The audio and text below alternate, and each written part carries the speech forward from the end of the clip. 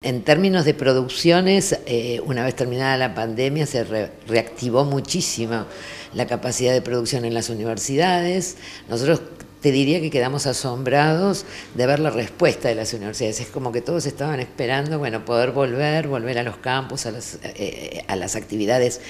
presenciales para poder arrancar con una cantidad de cuestiones que lamentablemente habían quedado suspendidas porque era imposible hacerlas.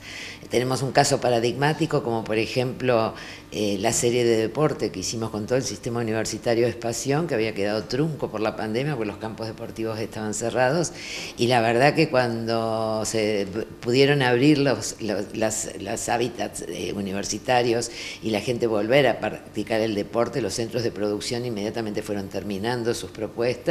y es un programa y una serie que hicimos segunda temporada de 13 capítulos que se estrenó en el canal Deporte B y que luego circuló, por todos los canales universitarios y en redes. Eso como un ejemplo. Y como otro ejemplo de después de la pandemia fue la presentación de proyectos para el programa que sacó el Ministerio de Cultura de la Nación Renacer Audiovisual, que nos permitió ganar el concurso en la categoría de series de ficción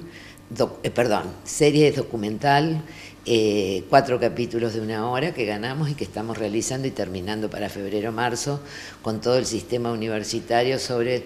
eh, crisis o los problemas ambientales que hay en los diferentes puntos del país. Una serie que que es como todas las que nos caracterizan absolutamente federal, donde participan 25 universidades nacionales y que muestra problemas de ambiente desde Suaya a Jujuy, este-oeste, en todos los rincones del país y el accionar y las propuestas que las universidades tienen para subsanar determinados aspectos de la crisis climática, digamos.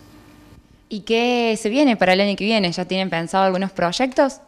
Bueno, para el año que viene se están preparando, se prepararon ya tanto regionalmente como a nivel nacional algunos proyectos y tenemos ahora, antes de fin de año, que todavía queda un tiempito antes de fin de año y principios del otro, varias reuniones para poder eh, llevar adelante coproducciones tanto con Encuentro como con Paca Paca, que estamos terminando ahora una coproducción de, con Paca Paca, eh, Muchas manos en el plato,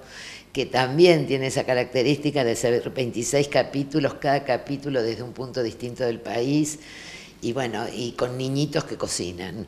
Y bueno, se viene poder la posibilidad de poder seguir teniendo coproducciones con Paca Paca, con Encuentro, eh, llevar adelante una propuesta en la TV pública que ya hubo este año, pero aspiramos a otra propuesta que se está a punto de concretar y sobre todo, bueno, poder seguir creciendo en capacitación y en producción de los centros de producción universitarios de todas las universidades del país.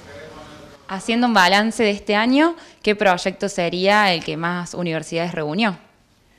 No, en general nosotros tenemos de, más o menos un conjunto, contando universidades muy nuevas, de 60 universidades, 40 y pico, que permanentemente funcionan porque han podido armar sus centros, algunas históricamente, como el caso de Río Cuarto, que han podido armar sus centros de producción, equiparse y tener recursos con los cuales pueden llevar adelante comunicación audiovisual. Eh, nosotros estamos contentos, hay una enorme participación, mucho talento, eh, muchas universidades que hacen, además por sí, no dentro del marco de la Red Nacional Audiovisual Universitaria, sino por las demandas propias de su universidad, cosas maravillosas. Hay 12 canales al aire en la TDA y bueno, fue un año altamente positivo, sin recursos, sin demasiados recursos, pero con muchísima garra, compromiso y voluntad de ir siempre para adelante.